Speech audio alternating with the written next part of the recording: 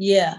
I do find that the horror fans are they are some of the nicest people. They are they know dialogue. I'm like, huh? What? but I mean, they are really into the genre. Mm-hmm. And I mean, and they're just come from every walk of life. Right. Yeah. Cause I wasn't even gonna do uh Nightmare on Elm Street. And so I'm like, I ain't doing that.